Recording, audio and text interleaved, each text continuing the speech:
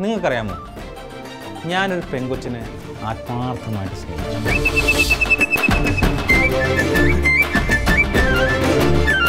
പക്ഷേ അവളുടെ രണ്ടാങ്ങളമാർ അവന്മാര് എനിക്ക് സൗന്ദര്യം പോരാന്നും പറഞ്ഞ് എന്നെ തഴഞ്ഞു. പിന്നീട് അങ്ങോട്ട് സംഭവ ബഹുലമായൊരു കഥ നടന്നു. ആ കഥ എന്താണെന്ന് അറിയണമെങ്കിൽ ഈ വരുന്ന ഞായറാഴ്ച സിനിമ ചിരുമ കാണുക. പന്ത്രണ്ട് മുപ്പത്.